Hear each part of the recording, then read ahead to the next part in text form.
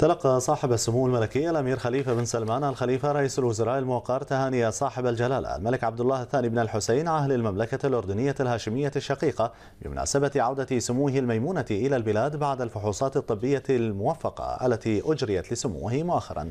متمنيا جلالته لصاحب السمو الملكي رئيس الوزراء موفور الصحة لمواصلة مسيرة التقدم والتنمية. في مملكة البحرين. جاء ذلك خلال استقبال صاحب السمو الملكي رئيس الوزراء لسعادة السيد ناصر جودة وزير الخارجية وشؤون المغتربين بالمملكة الأردنية الهاشمية الشقيقة خلال اللقاء أكد صاحب السمو الملكي رئيس الوزراء أكد على العلاقة الوثيقة التي تربط بين مملكة البحرين والمملكة الأردنية الهاشمية الشقيقة حتى غدا التقارب بين البلدين مثالا يحتذى للعلاقات العربية وقال سموه إن المستقبل يحمل في أفقه المزيد من التعاون البحريني الأردني لأن قيادتي وحكومتي البلدين لديهما الرغبة العربية.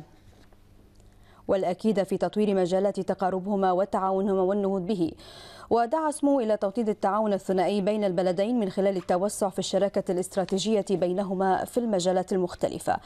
واستذكر صاحب السمو الملكي رئيس الوزراء بالتقدير مواقف الأردن المشرفة في دعم مملكة البحرين والتي تؤكد على طبيعة العلاقات المتطورة التي تربط بين البلدين.